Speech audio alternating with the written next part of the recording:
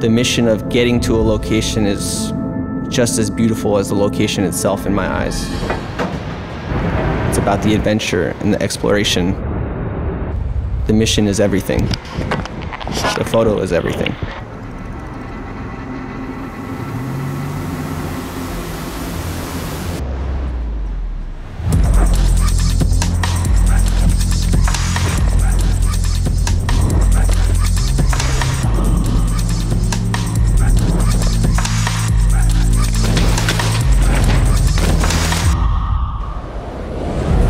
First thing I always try to look for is symmetry in all my locations.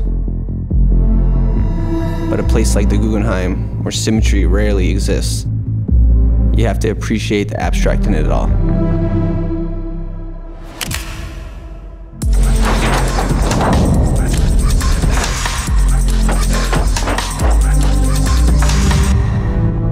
I don't see through my eyes, I see through my camera. I feel the moment, I feel the location, I feel that light. With the brightest light causes the darkest shadows. And in those shadows is where I like to explore. That's where I find my perspective.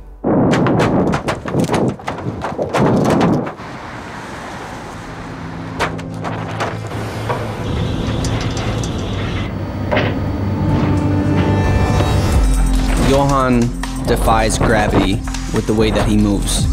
Photography defies time. As time passes, I'm able to capture that moment and break its rule and hold on to that second and that moment forever.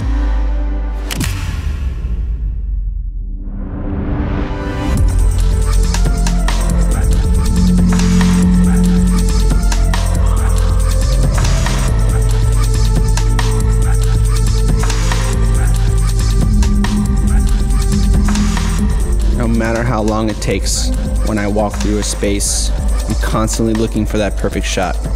The shot that speaks to me the most and I know will resonate with people the most.